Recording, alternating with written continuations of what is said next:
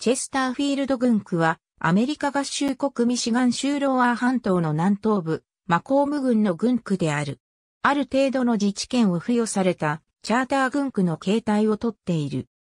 2010年国勢調査での軍区人口は43,381人であり、2000年からの10年間で5976人、16%の増加だった。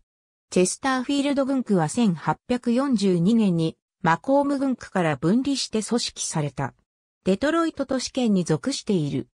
チェスターフィールド軍区は1842年に当初一般法軍区として設立され、1989年にチャーター軍区になった。過去にはチェスターフィールドと呼ばれる小集落があった。1830年に入植された。グランドトランク鉄道が1865年に開通すると企業ができるようになった。1875年から1907年まで郵便局があったが、それ以降はこの具体的な目印がなくなった。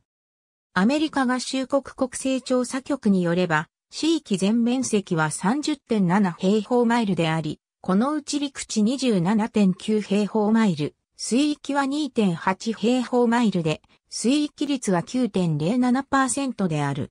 21世紀の最初の10年間、チェスターフィールド軍区の大半は、小区分に分かれ、ショッピングの開発が行われ、次第に人口構成が多様になっていった。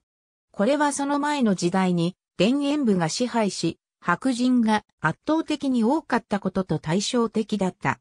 2010年国勢調査時点で人口の89%は非ヒスパニック白人であり、人口動態はそれほどはっきりと変化しているわけではなかった。軍区の最北部は今でもほとんど田園部である。アンカー湾が町の南東部に影響している。そこではプレジャーボート、桟橋や水に関わる事業が見られる。チェスターフィールド軍区の北はレノックス軍区とニューヘイブン村、東はアイラ軍区とニューボールチモア市に接している。南東はアンカー湾であり、セントクレア湖の一部である。南はハリソン軍区、西はマコーム軍区と接している。チェスターフィールド軍区を通るミシガン修道29号線チェスターフィールド軍区の中に法人化された村はなく、下記の10の非法人地域がある。2010年の国勢調査時点で人口は43,381人だった。人種別人口構成は以下の通りだった。以下は2000年の国勢調査による人口統計データである。凍結したセントクレア湖、チェスターフィールド軍区には、玩具のライオネルトレインのメーカーである、ライオネル社がある。